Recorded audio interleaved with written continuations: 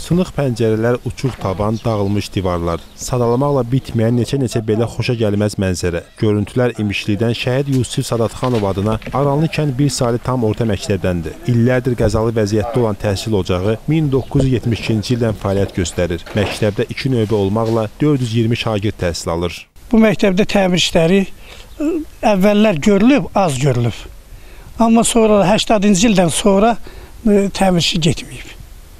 İndi məktəb bərbad haldadır. Yağış yağanda bütün yağış suları hamısı sinif otaqlarında. Şagird oturmağa yer tapmır. Uşaqlar gəlib məktəbdə oxuya bilmir. Oxuya bilir, oxuyur, müəllimlərimiz də yaxşı dərs keçir.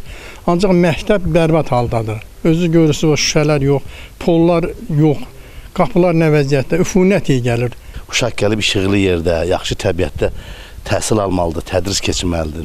Baxırıq görürük ki, o şəraitimiz yoxdur. Təhsil müəssisəsinin direktoru Anar Ələkbərov bildirdi ki, məktəbin qəzalı vəziyyətdə olması barədə aidiyyəti üzrə məlumat verilib. Yaxın gələcəkdə yeni məktəb binasının tikiləcəyi bildirilir. Region Təhsil İdarəsinin işçi əməkdaşları o gün də gəlmişdilər. Biz də ölçüb biçib götürdülər, şəklini çəkdilər. Dedilər ki, müəllim, sizə 2023-cü ildə yeni binanın inşa tikintisi ilə bağlı Allah bu sizə məktəb tikiləcək. Məktəbin gələcək taleyi ilə bağlı məsələni araşdırmaq üçün Mil Muğan Regional Təhsil İdarəsinə getdi. İdarədən bildirildi ki, Aranlı kəndində olan qəzalı məktəb binasının yenisi ilə əvəz olunması növbəti ilin tədbirlər planına daxil edilib. 2023-cü ildə İmişli rayon təhsil sektoru üzrə Aranlı kənd 1 nömrəli tam orta məktəbi e, 528 yerlik məktəbin tikintisi nəzərdə tutulmuşdur. O ki qaldı yeni tədris ilinə görünən odur ki, şagirdlər bu ildə qəzalı məktəbdə təhsil almalı olacaqlar.